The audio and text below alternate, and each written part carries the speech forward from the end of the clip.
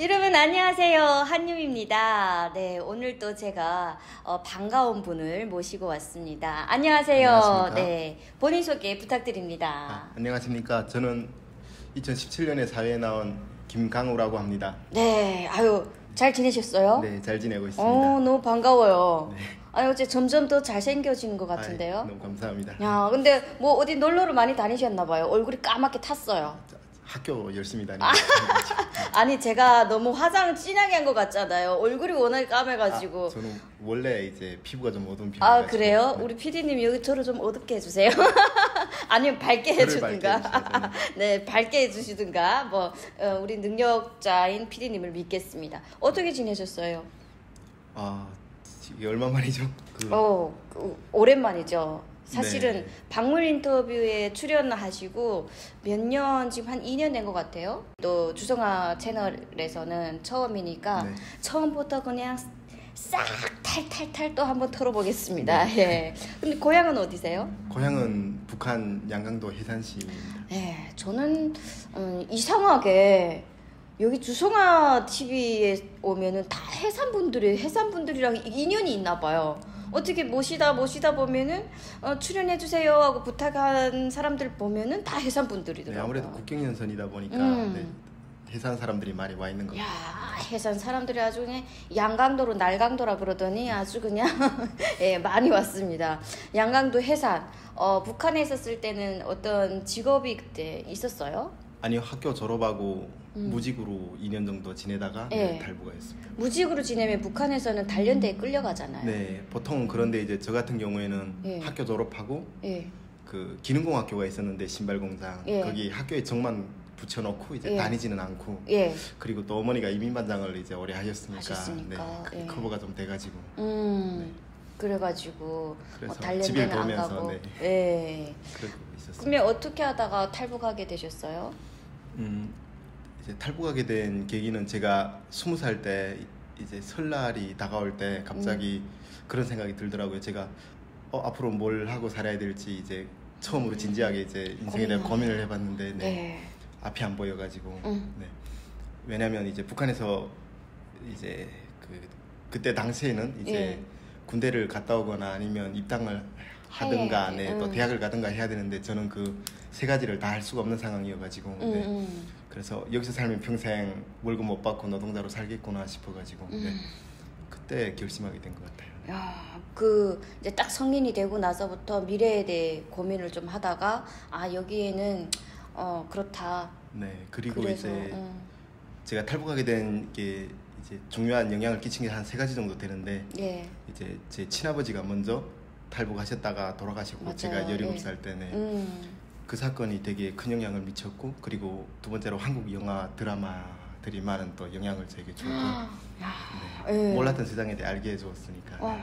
그 한국 영화 드라마는 어떤 분들은 어 이게 무슨 내용인지 모르겠고 아 여기서 하- 북한에서 어 봤을 때 한국이 진짜 이렇게 잘 사나라고 믿지 않았다는 분들이 계셨는데 네. 강우 씨는 믿었어요? 처음부터 믿은 건 아닌데 이제 많은 양을 보다 보니까 음. 조금씩 좀 나름의 노하우를 터득해가면서 네 예. 걸을 거 걸으면서 네, 음 음악도 듣고 네.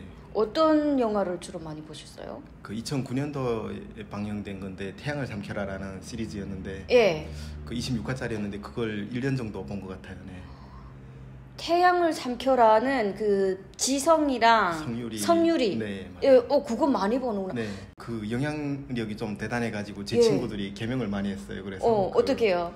주역을 맡았던 그 배우 이름이 지성 씨잖아요. 예. 그분이랑 그리고 드라마 상의 이름이 김정우였는데 김정우. 네 김정우, 어, 지성 어, 뭐 이런 어. 식으로 예, 개명을 예. 많이들 했어요. 친구들이. 지성, 김정우 네. 이렇게 와 되게 인기가 네, 있네요. 아 그럼 우리나라 배우들이 그 뭐지 뭐 이렇게 송중기도 그렇고 지성도 그렇고 이게 그런 배우들이 북한에서 좀 이 젊은 아, 세대들한테 있냐고요? 인지도 있겠네요. 어, 그 제가 학교 다니던 시절에 봤을 때는 성종기 씨는 그렇게 유명하지가 않았던 것 같고 어 예. 그 그보다는 그 검사 프린세스라는 드라마가 있어가지고 어, 그때 봤어요. 박시우 씨가 이제 예. 그래서 남자들이랑 여자들이 막 지성이 멋있냐 박시우가 멋있냐 막 이러면서 여자들이 네. 야그 쌍꺼풀 없는 눈이 또 인기가 있구나. 예전에는 쌍꺼풀 있는 눈 막 장동건 이런 사람들이 아. 인기가 아 하니까 제가 되게 것 늙어 보이잖아요. 어. 아, 그런 분들은 남자들이 되게 좋아하는 것 같고 네. 예. 여자들이 좋아하는 건 또 좀 다르더라고요. 예, 예. 저도 여자라서 쌍꺼풀이 없는 눈을 되게 좋아해요. 예, 좀 매력 있게 생겨가지고.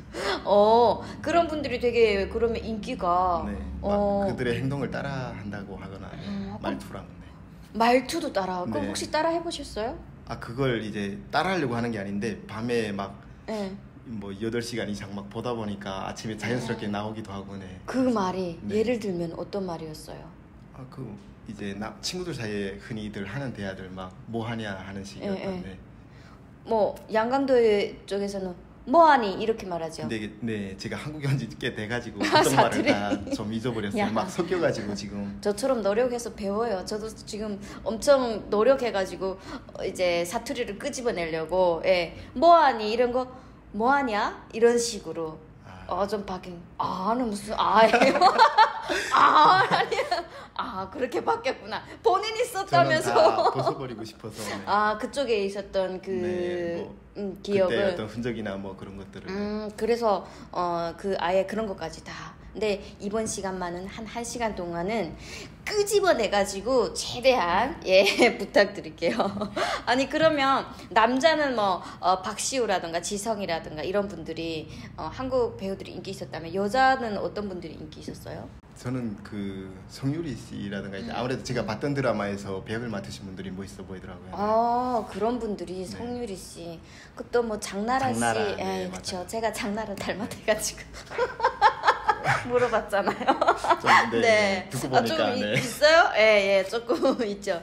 뭐 어쨌든 어, 한국에 오게 된 계기가 어, 아버님이 그렇게 돌아가시고 그다음에 한류 영향이 굉장히 컸고 네. 그다음에 음, 세 번째는요. 세 번째는 이제 어머니가 그쪽에서 재혼을 하셨는데 예. 그 이제 새아버지가 예. 러시아에서 10년 정도 생활을 하셨어요. 그래서 예.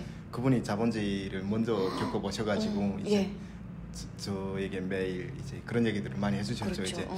왜너 같은 20대 청년들이 여기서 음. 공부도 못하고 뭐 음. 미래가 없이 살고 있냐 이제 음.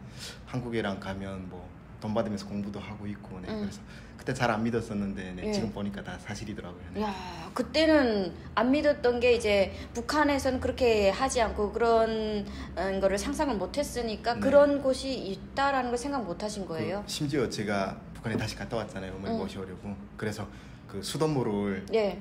그 왼쪽으로 틀면 돔을 나오고 오른쪽 틀면 참을 참을 나오잖아요. 나오- 예. 그 얘기를 했더니 친척들이 다 안 믿더라고요. 안 믿어요.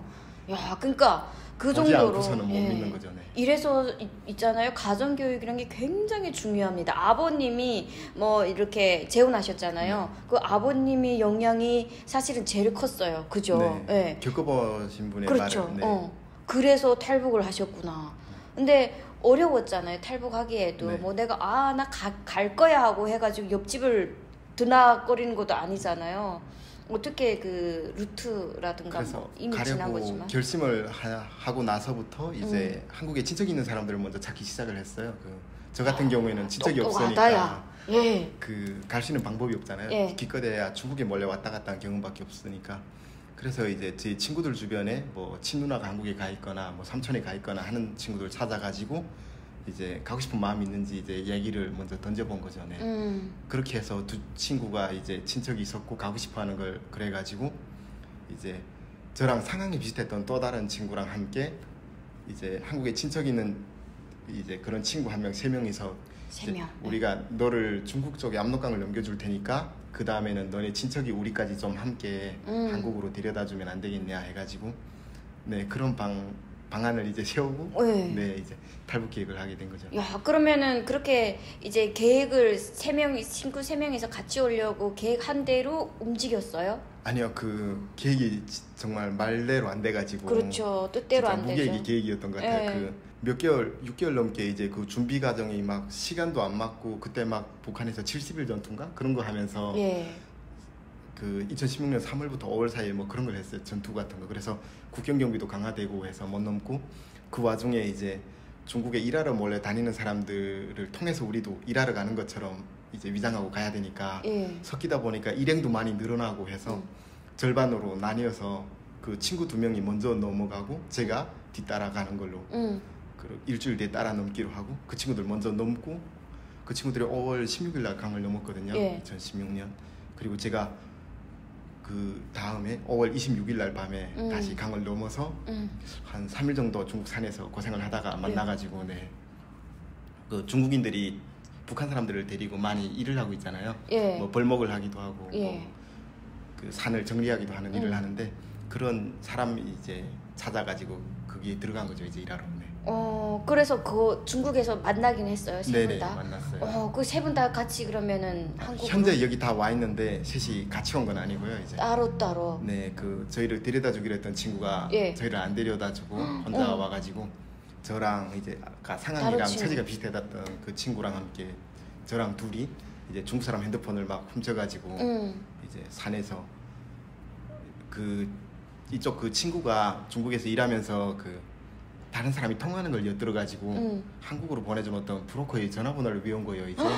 외웠어요. 그 네, 그래서 그 친구가 그걸 외웠다고 저에게 얘기해 줘서 제가 아 그러면 내가 중국 사람 핸드폰 어떻게든 구해 볼 테니까 음. 함께 여기서 달아나서 음. 전화하고 가자 해가지고 그래서 제가 밤에 아, 먼저 핸드폰을 사달라고 하니까 안 사주는 거예요. 예. 그래서 그때 그 중국 사장이 한족이었는데 2014년도 네, 2014년도에 제가 그 사람 밑에서 일을 했었던 적이 예. 있어요.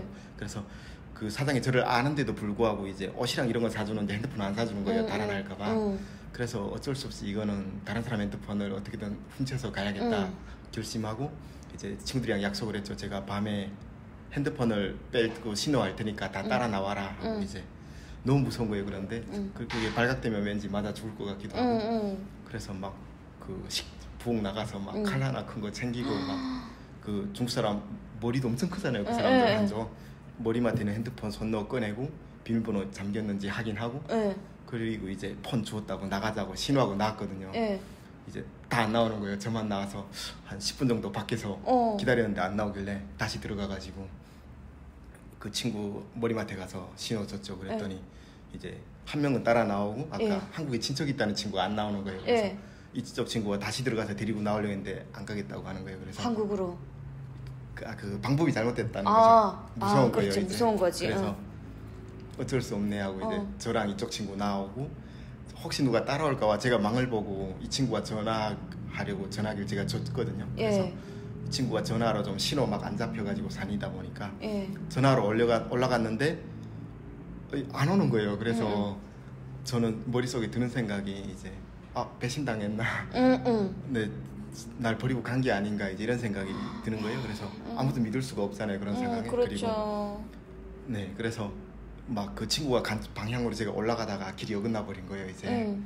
그래서 정신없이 산을 진짜 헤매고 다녔어요. 음, 아무것도 안 보이고 하니까. 어, 또 소리 내서. 부르지도 못하고. 네, 예. 그래서 자그마하게 막 불러도 보고 하면서 다니다가 한 몇 시간을 걸었는지 이제 기억도 없을 만큼 걷다가 앞에서 웬 사람이 마주오는 거예요. 그래서 어 저 친구구나 하고 이제 막 너무 반가워서 이름을 부르면서 달려갔더니 이 사람이 저를 보고 반대로 놀라서 뛰는 거예요. 그래서 응. 어 제가 왜 저러지 하고 저도 따라 뛰는데 응. 이제 막 그 사람이 중국 군인들한테 쫓기고 있던 사람이었던 거예요. 그걸 모르고 저는 제 친구인 줄 알고 어. 이제 따라가고 서로 어. 그러다가 밑에서 올라오는 군인들한테 그 사람이 막 잡히고 이제 막 개가 막 짖고 이래서 저는 또 반대로 막 뛰고 하면서 그, 그 중국 산에 머물던 숙소가 있잖아요. 산에 예. 막을 짓고 그 위치를 벗어나서 엉뚱한 곳까지 쫓긴 거예요 이제. 예. 그래서 막 자그마한 시내 같은 것도 막 건너고 하고 개가 따라오니까 그러다가 날이 밝았거든요. 그래서 예. 친구도 잃어버리고 저 혼자 산에 남은 거죠. 그래서 음. 어 이거 이제 한국도 못 가고 완전 인생 끝났네. 이제 음. 다시 북한에 가기도 힘들고 해서 음. 그래서 가만히 막 절망하고 이제 앉아 있다가 갑자기 드는 생각이 이 친구가 이제 브로커한테 통화를 했으면 음. 어디 길목까지 나가서 차를 얻어 탈 거니까 네. 내가 먼저 나가서 기다려야겠다 하고 길을 좀 잘 알아가지고 그 3년 전에 일했던 기억이 있어서 그래서 먼저 앞질러 가고 이제 가면서 막 그 친구가 볼만한 길에 나뭇가지로 막 여기 몇시 지나갔고 어, 같이 가자고 글도 남기고 어머. 했거든요. 막. 예. 그렇게 하고 이제 가는데 더 갈 수가 없더라고요. 그 군인들 초소가 있어가지고 음. 다리 압록강이 있으면 강이 또 합쳐지는 게 있는데 중국 음. 쪽에서 거 기에 초소들이 있더라고요. 그래서 못 건너가고 거기 아예 포기하고 누워 있는데 음. 제 이름 부르는 소리가 들리는 거예요. 그 다음 날 오후 2시쯤인가 됐는데 멀리서 제 이름이 부르는 게 들렸어요. 어, 그래서 어. 어 이거 환청인가 막 이런 생각을 하면서 일어나서 막 겁이 들려서 예. 조심조심 봤는데 이 친구가 그 큰 길 따라 내려오면서 막 부르고 있는 거예요. 예. 낮 시간에 군인들 막 훈련하고 있는데 그래서 너무 놀라가지고 그 그걸 보- 그 친구를 보는 순간 정말 기뻤어요. 그 어, 그렇지. 네, 저를 찾아다녔더라고요, 예, 밤새. 어, 서로 그러니까 엇갈린 거야. 네, 길이. 그래서 어. 제가 뛰어가서 막 친구 안았는데 이 친구가 첫 마디로 하는 말이 예. 우리 살았다, 막 한국 가게 됐다, 어. 막 통화를 했더라고요. 예, 그래서 예. 브로커가 오라고 하는데도 절 두고 안 가가지고 예. 기다려줘가지고 야, 너무 고마운 네, 친구다. 진짜 목숨 같은 친구였죠. 예, 예.